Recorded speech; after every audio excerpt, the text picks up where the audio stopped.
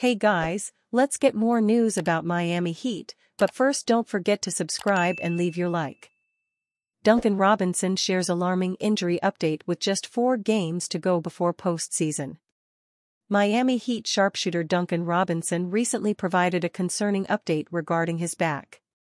Robinson saw just 12 minutes of playing time in the Heat's most recent game against the Indiana Pacers on April 7 and finished with 0 points on 0 of 4 shooting from deep.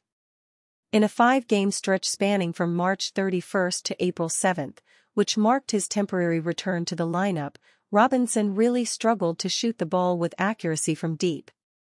His best three-point shooting performance during that span came when he converted two of his five shots from deep in a matchup against the Houston Rockets on April 5.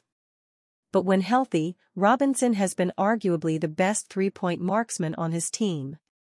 For the 2023-24 regular season, he is averaging 2.8 made threes per game on 39.5% shooting from deep. He averages the second most three-pointers made per contest on the Heat, behind only Tyler Herro, who has appeared in just 38 of Miami's 78 regular season contests thus far, but is leading the team with 3.2 made threes per game.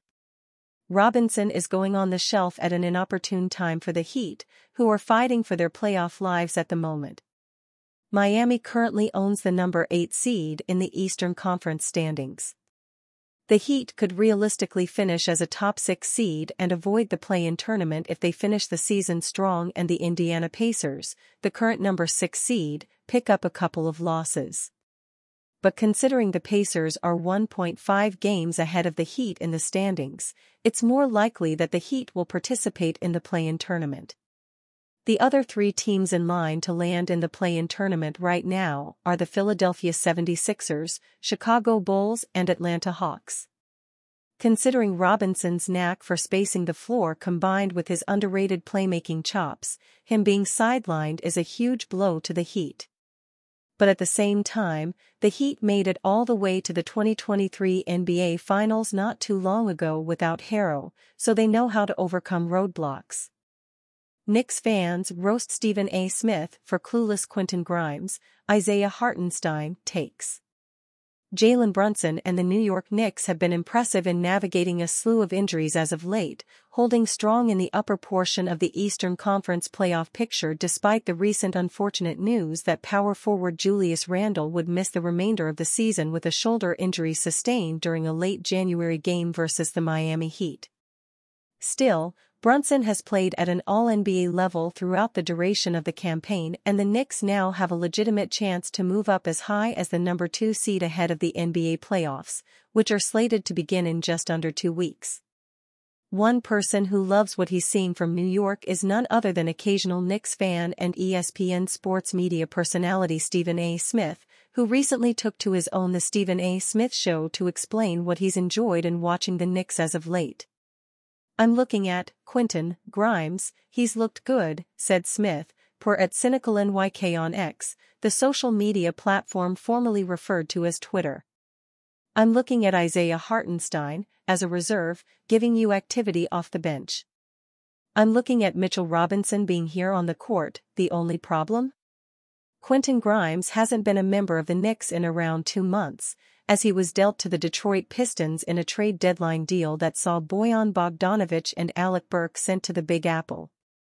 Furthermore, contrary to Smith's assertion, Hartenstein is still the main starter at center for the Knicks, despite Robinson's recent return from injury.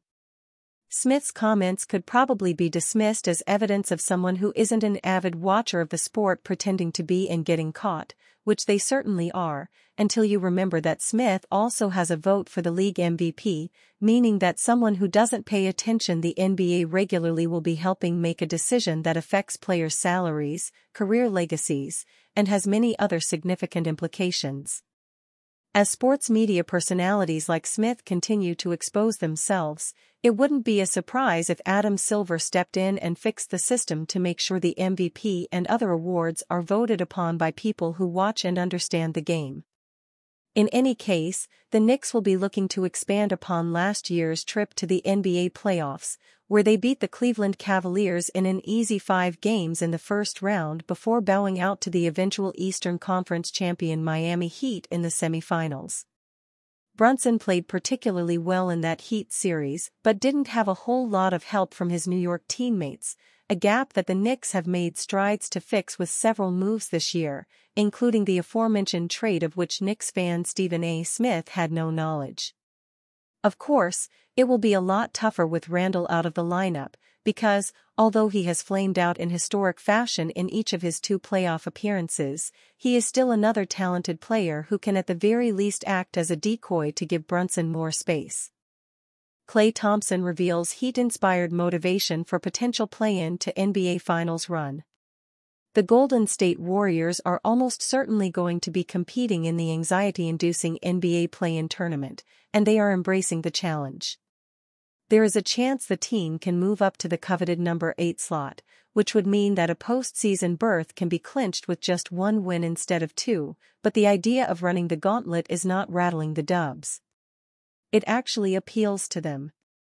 It would be nice to get to 8, but if we don't, it's not the end of the world, Klay Thompson said, per Jack Winter of Clutch Points, after the Warriors' pivotal 134-120 victory over the Los Angeles Lakers Tuesday night. We take a lot of motivation from the Heat last year, who I think had to play two play-in games, and they made a run all the way to the finals being placed in a highly stressful environment like the one that defines the play-in tournament can take its toll. Assuming Golden State stays molten hot, 1-8 of 9, and finds an opening into the NBA playoffs, it might be running on fumes. Though, as Thompson notes, the Miami Heat used their play-in scare as fuel for an exhilarating and history-making finals run only a year ago the Warriors operate with a similar level of tenacity and intestinal fortitude that is essential for teams to draw on when they are in do-or-die mode. I think we're capable of a run like that, the Splash brother said. Obviously can't look ahead, but whatever happens we'll all be ready and we'll all know that it can be. There's no task too tall for us, I really believe that. Golden State had no trouble rising to the occasion in the Crypto.com arena, in a possible preview of what awaits the squad next week. The Dubs, 44 to 35, 10th in Western Conference, exploited an Anthony Davis-less Lakers group and bombarded their opponents with three-pointers. Klay Thompson scored a team-high 27 points on 10 of 16 shooting. Steph Curry added 23 and connected on all six of his attempts from distance. Even Draymond Green participated in the three-point palooza, 5 of 7 for 15 points. In total, Golden State drained 26 buckets from downtown, 63.4%, just shy of its franchise record. This was not just an important win, it was a statement win that should have the West on alert. Defeating another inconsistent team like LA when it is short-handed does not launch the Warriors into contender status on its own, but this effort showcased how cohesive they can be. Many prepared to eulogize this franchise when injuries prevented it from advancing to the playoffs two years in a row, but they were silenced when Golden State won another championship in 2022. Now, the skepticism might be invalidated once again playoff Jimmy Butler and an all-time great coach in Erik Spoelstra led the Heat to an incomprehensible feat in 2023, but the team also relied on its famed culture to thrive in unpromising circumstances. The Warriors' culture has helped them overcome tough times throughout the season. Who is to say it is not strong enough to survive the NBA play-in tournament, and beyond? And you, fan, what do you think of the situation of Klay Thompson? Leave your opinion in the comments.